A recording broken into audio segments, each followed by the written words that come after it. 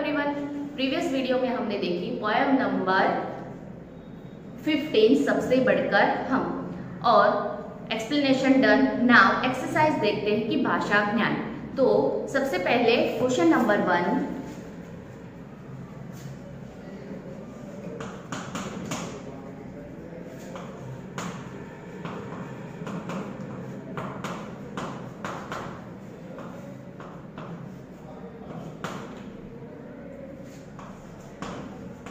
वचन बदलकर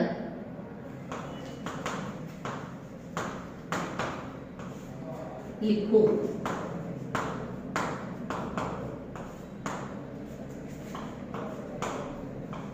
first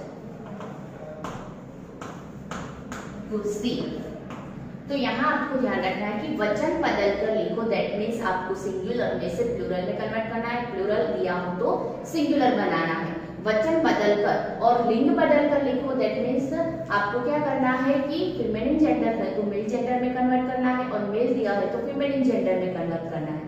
but यहाँ दिया है कि वचन बदलकर लिखो, यानी कि आपको एक वचन दिया हो तो बहुवचन बनाना है, और बहुवचन दिया हो तो एक वचन बनाना यानी कि सिंगुलर में से प्लूरल और प्लूरल में से सिंगुलर में कन्वर्ट करना है।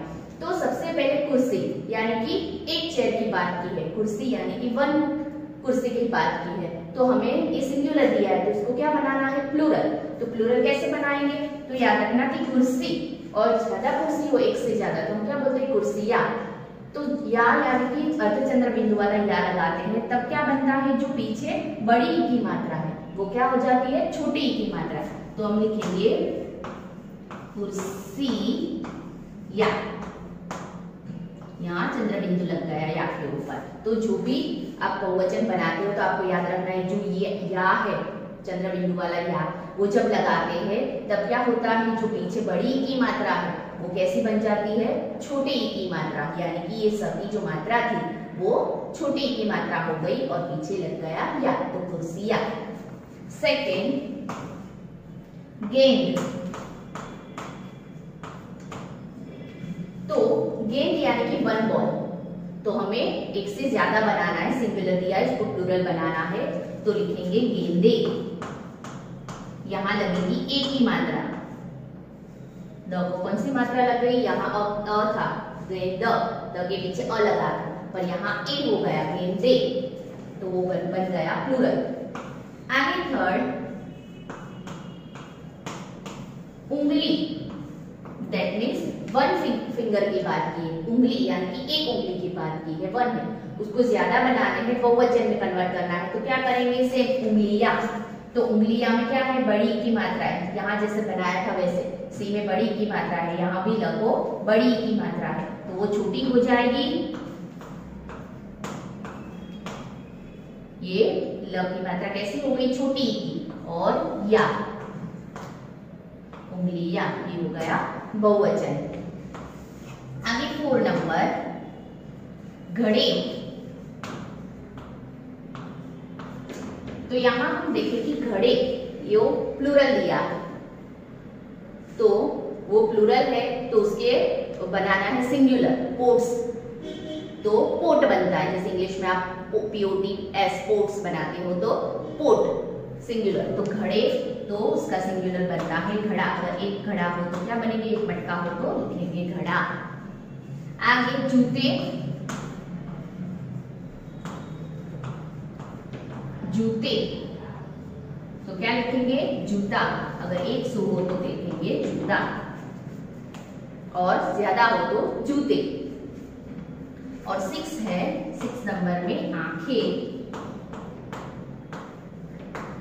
यानी कि वो भी फ्लूरल वर्ड है, आँखें। बहुवचन दिया है।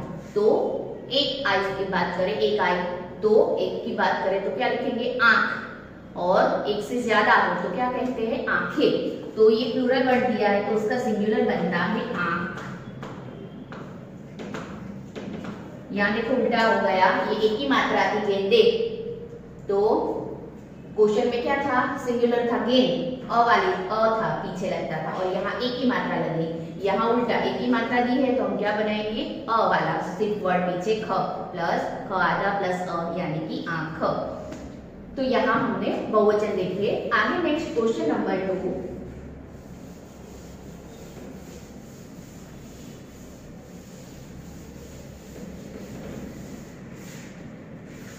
question number two समान अर्थ वाले शब्दों का मिलान करें।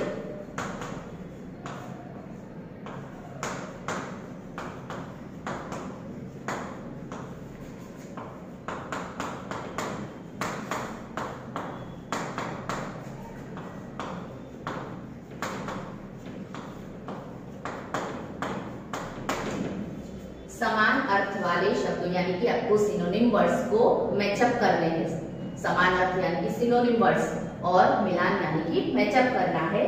तो दिया हुआ है बाल, दांत, घड़ा जी और सामने ऑप्शन दिए हैं दंत जीवा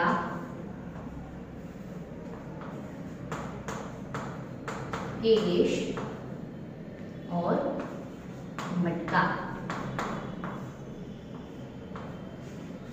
यह देखो कि समान अर्थ वाले शब्द को मेचअप करना है। कई बार क्या होता है कि आपको डायरेक्टली ब्रैकेट में से आपको ढूंढ के सिनोनिम वर्ड्स लिखने होते हैं। यहाँ मेचअप करने हैं। तो बाल, दांत, यानी कि है तीत घड़ा, पोट और जीभ, यानी कि टंग दिया हुआ है। सेम वैसे दंत, जिह्वा, केश मटका दंत मीन्स तीत जिह्वा दैट मीन्स टंग, केश दैट मीन्स हेयर और मटका दैट मीन्स पोट तो यहाँ बाल तो बाल का वर्ड कौन सा है? सिनोनिम वर्ड्स तो बाल को कहते हैं केश।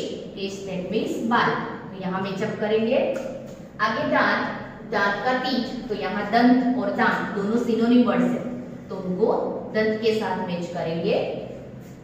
आगे, घड़ा घड़ा, यानी कि पोट तो यहाँ दो बचे जीवा और मटका। तो सिनोनिम वर्ड्स बनता है घड़ा का मटका। और लास्ट में है जीव तो जीवा। तो ये हुए सिनोनिम वर्ड्स कई बार क्या होता है कि आपको ऊपर ब्रैकेट दिया होता है। तो ब्रैकेट में से ढूंढ के इसके ऐसे क्वेश्चन दिए हैं कि, और ये ब्रैकेट में ऊपर दिया होता है तो आपको वो वर्ड्स ढूंढ कर उसके सामने लिखने होते हैं। नाउ क्वेश्चन नंबर थ्री उल्टे अर्थ वाले शब्द चुनकर लिखो। क्वेश्चन नंबर थ्री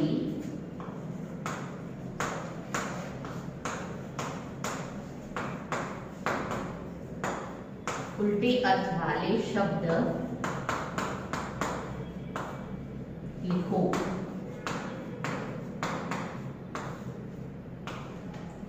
फ़र्स्ट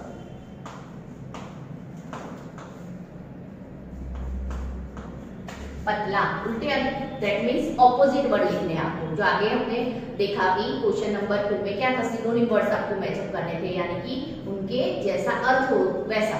दोनों के सेम अर्थ हो, वैसा। यहाँ उल्टे अर्थ, यानी कि ऑपोजिट वर्ड ढूंढना है, कि पतला। तो पतला का उल्टा अर्थ बनता है मोटा। थीन तो फैट सेकेंड बड़ा। दैट मीन्स बिग तो बिग का ऑपोजिट वर्ड कौन सा बनेगा? स्मॉल तो हिंदी में हम कहेंगे छोटा.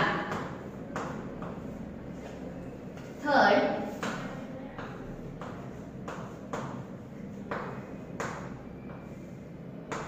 अधिक अधिक यानी कि मोर ज़्यादा. तो थोड़ा हो तो उसको हम क्या कहेंगे? कम. लेस हो तो हम क्या कहते हैं? कम. फोर जल्दी। दैट मीन्स फास्ट तो जल्दी का ऑपोजिट बनता है देर। फिफ्थ नंबर मित्र। दैट मीन्स फ्रेंड तो फ्रेंड का ऑपोजिट बनता है एनिमी एनिमी यानी कि दुश्मन। हिंदी में क्या कहेंगे हम उसको? दुश्मन। या फिर आप शत्रु भी लिख सकते हो।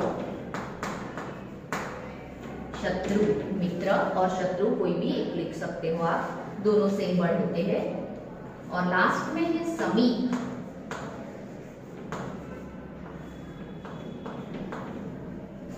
समीप समीप दैट मीन्स क्लोज हमारे बहुत नज़दीक होता है। समीप, यानी कि नज़दीक। तो नज़दीक का ऑपोजिट नज़दीक समान अर्थ है। समीप का नज़दीक अर्थ पूछे तो हमें क्या लिखना है?